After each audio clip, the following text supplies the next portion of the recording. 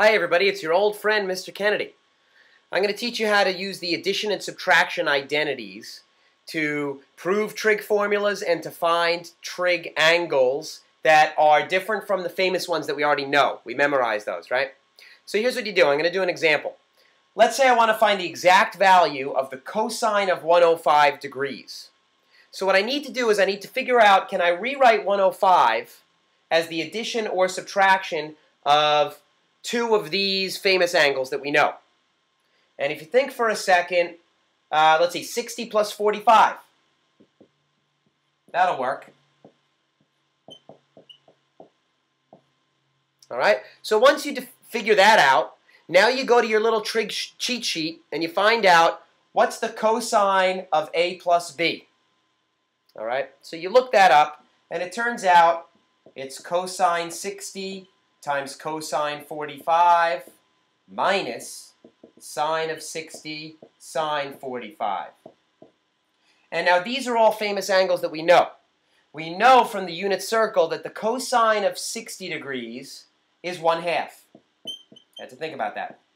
The cosine of 45 is radical 2 over 2. Minus the sine of 60 is radical 3 over 2. And the sine of 45 is radical 2 over 2. Remember that first quadrant? You got to memorize that. So now I just multiply.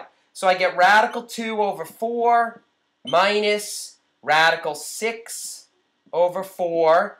And that's basically my answer. Radical 2 minus radical 6 all over 4. That's an exact answer. And I'm done. How simple.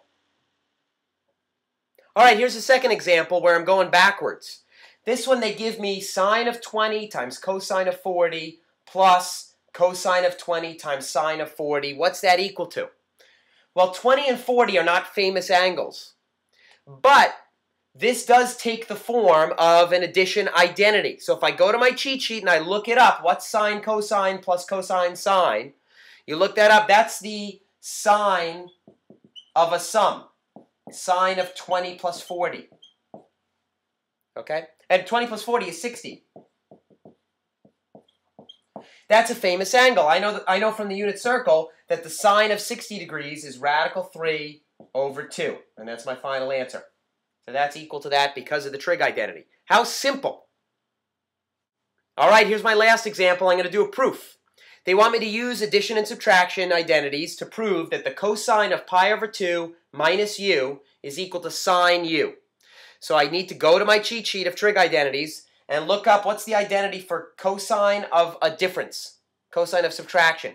So if you look that up, you get cosine pi over 2 times cosine u plus sine pi over 2 sine u.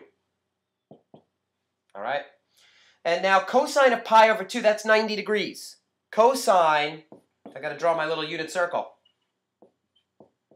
Ah, cosine is 0. So I get this all becomes 0.